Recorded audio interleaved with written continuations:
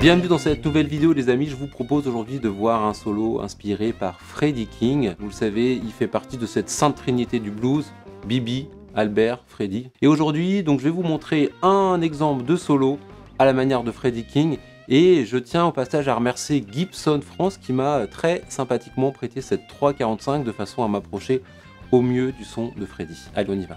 Deux petites choses importantes avant de commencer à parler du style de Freddie King. On va d'abord parler de sa main droite. Lui, il jouait son médiator, il avait deux onglets, un sur le pouce, un onglet qui était en plastique, et un autre en acier sur l'index. Ça veut dire quoi? C'est-à-dire que lorsqu'il jouait les cordes aiguës de sa guitare, il jouait en faisant un geste du bas vers le haut. Et donc pour nous approcher euh, de cette façon de faire, je vous invite à faire la même chose, c'est-à-dire à jouer des coups de du bas vers le haut. Par exemple,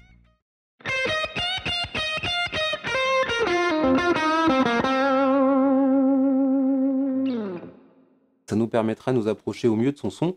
Pensez également à utiliser le micro aigu de votre guitare. Là, si vous avez une guitare avec des doubles, ce sera parfait. Donc voilà, deux petites choses très importantes pour nous approcher du son de Freddy.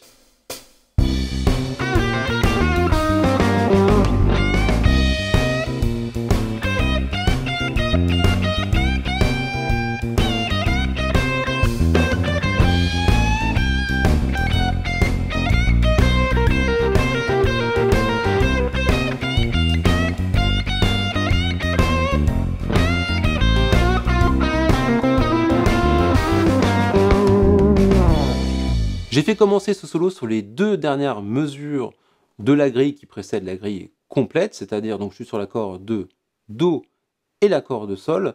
Et on va commencer par un plan euh, cliché du blues.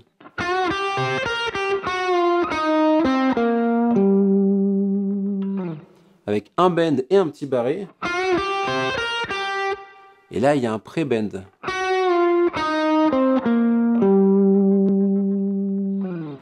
Et on finit sur la note sol parce qu'à cet endroit-là, euh, on est sur l'accord de sol et ça, ça nous permet de finir la phrase de façon bien conclusive et c'est plutôt pas mal lorsque après il y a une autre grille qui s'enchaîne.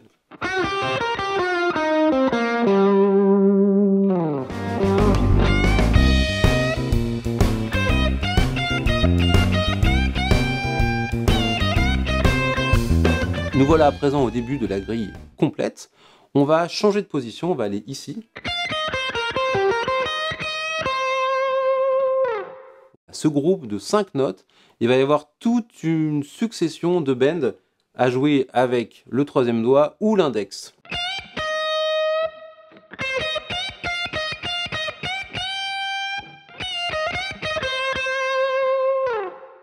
Alors j'attire votre attention sur le bend avec l'index, la deuxième note essayez d'avoir une courbe qui nous permet de nous approcher de la tierce majeure de l'accord de Do, le Mi. Une courbe très progressive, faut pas que ce soit trop abrupt, sinon ça va pas forcément bien sonner. Ensuite, on reste sur euh, cette oscillation entre deux notes. en fait, plus de notes parce qu'il y a toute une succession de bends.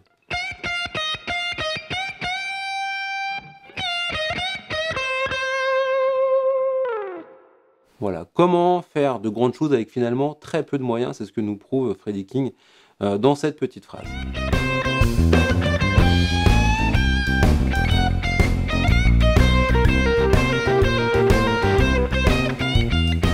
Ensuite, on arrive sur l'accord du quatrième degré, l'accord de Fa. Là, on va changer de position, on va utiliser la position dite à la BB King. Pourquoi on parle de position dite à la BB King Parce qu'on va venir bloquer la tonique de la gamme, en l'occurrence Do, avec l'index.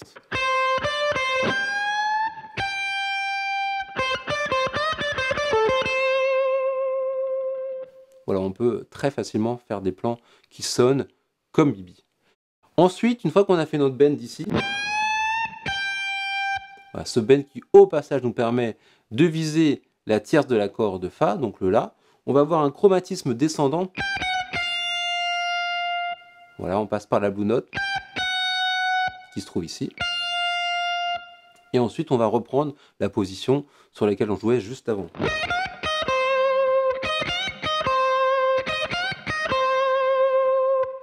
Et on conclut quelque part cette mini-phrase en allant sur la tonique qu'on va bloquer avec le troisième doigt.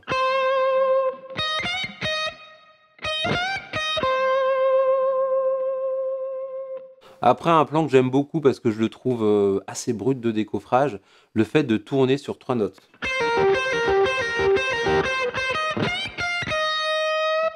Voilà, très efficace, encore une fois, très peu de moyens. Là, d'un point de vue technique, il y a des pull-offs.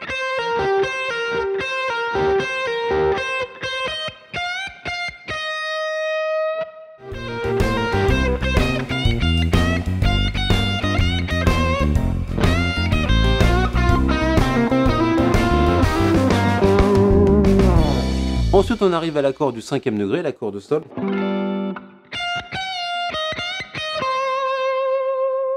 Voilà, encore une fois, un pré-bend.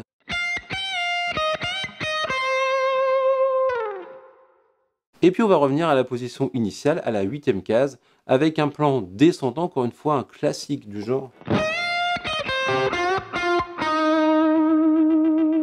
Voilà, j'adore ce genre de plan-là. Pas si simple que ça à faire, notamment avec le premier bend. Et puis après, quelque part, une petite tournerie.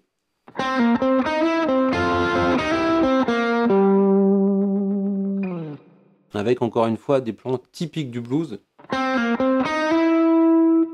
Tierce mineur, tierce majeur. Cette fois-ci avec des double stops. Et puis on conclut voilà, avec la note sol, le cinquième degré, qui permet de bien suivre la grille harmonique qui est derrière nous et sur laquelle on improvise. Et bien voilà les amis pour ce petit solo inspiré par Freddie King, j'espère que ça vous a plu. Je remercie encore grandement Gibson France de m'avoir prêté ce magnifique instrument pour cette vidéo.